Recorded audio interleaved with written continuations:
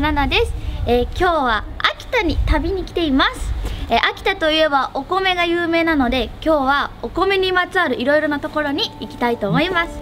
まず1つ目はこちら。福六寿酒造さんに来ました。初めての酒造です。それでは行ってきます。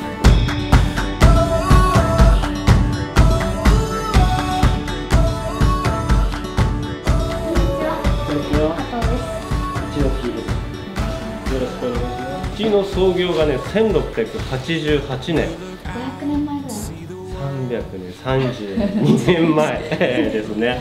が7782。こっちにリットル入ります。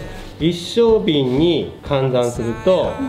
4300本ぐらい入る満タンに入れて200年以上前だったのでこういうふうにね今みたいに電気がなかったのでこういうふうにろうそくを灯して作業してたらしいです暗いもんね。そうですね。昔は時計がなかったのでその一節一節が時計代わりになったという歌で調整しながら酒を作りなさいということで先代の社長さんが掲げています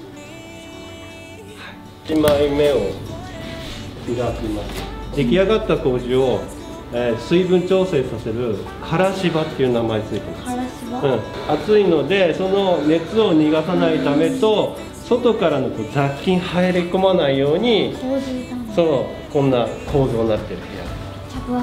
分厚いですね。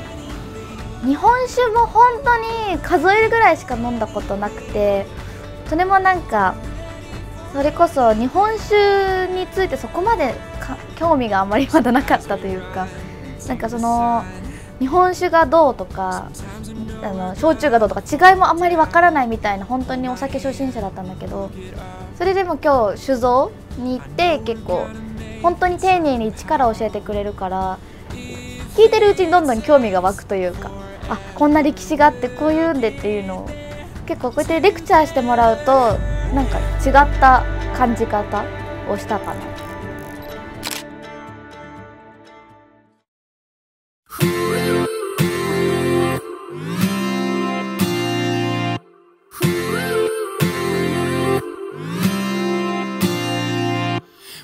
Step forward and another back.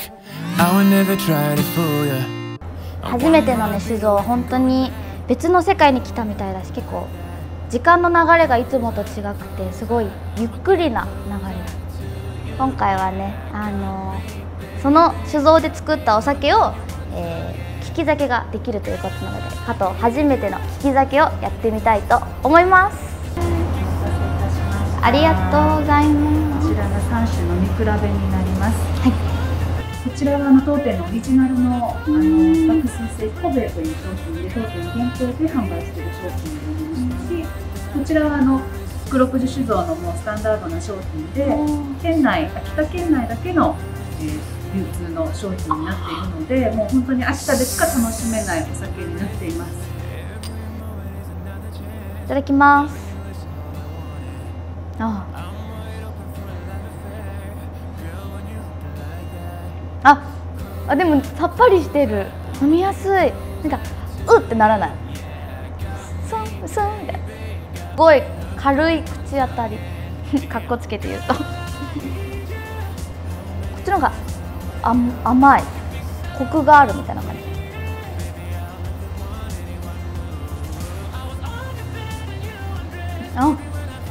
なんか甘い。すごいなんて言えばいいんだろう。フルーティーというか。なんかデザートみたいこれは。こっちはご飯に合いそうな感じ。引き酒っていうとちょっとなんだろう。大人の人がやるちょっとなんだろう。あんまり20代前半の子がするようなことじゃないみたいなイメージがあってハードルが高かったけどなんかああいうカフェみたいなとこで利き酒できるとかそういうのを多分知ったからなんかもっと他にもあるのかなっていうのがすごい気になった。では、えー、私加藤の初めての利き酒点数はいかがでしょうか？初めてにしては100点を差し上げます。ありがとうございます。ありがとうございます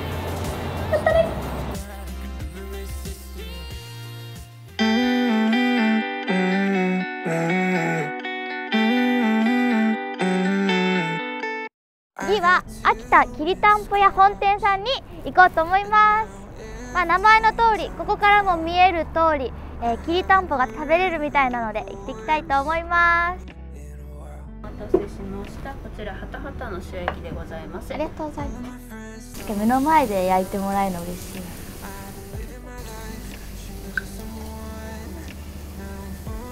じゃあいただきますめっちゃ歯ごたえある。うん。脂っこくない全然。プリプリだけ。ど箸でこう身をこうやってスッて抜けた骨全部取るんです卵が入ってる。クリーミー。ああん肝とかに近い感じ歯ごたえってか食べ応えはなんか筋子とかに近い。そのハタハタに入ってる卵っていつも入ってるんですか？12月から2月の産卵シーズンにありますね。はい。今しか食べれないんですもんそうですね。この時期しか食べれないですねラッキー.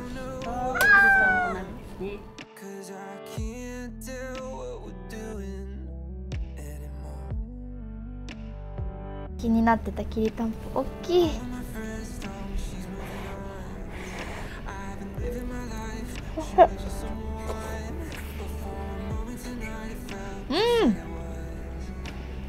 うん。うんなんかご飯とせんべいのハーフみたいな。そうですね。焼いているのでうん表面はパリッとしてて、なんか中はもうしっとしてる感じですねすごい香ばしい。うん。うん。が手に入らないですね。ね根っこがないとこちらではこの時期は絶対に出さないので。へえ根っこに栄養と香りが一番強くなるのがこの時期ですねうん。うん美味しい。結構全体がなんか甘い優しい味だからセリでシャキってなる。うん。きりたんぽは本当にもうちょっとちくわみたいなイメージがあったかも。食べたら本当になんかいろいろな知ってる味がなんかが凝縮されたみたいな。でも結構ねずしっとしてて本当にお腹いっぱいになった。セリの根がある今でしか食べれないとかそれこそあのハタハタ？も今の時期が一番旬だったり旬をすごい感じた気がする今日は。秋田に来てみて来た瞬間すごいなんか癒される雰囲気があって穏やかなのをすごい感じたっていうのもあるしあとは、うん、全然物足りない。もっとゆっくりいろいろ堪能したいなっていうのがあったな。今回秋田に来て初めてが多かったからちょっと脳みそが収集できてない。やっぱりその秋田に何があるっていうのを全然知らなかったから行くきっかけがなかったけど今日いろいろ知って秋田に行きやすくなったかも。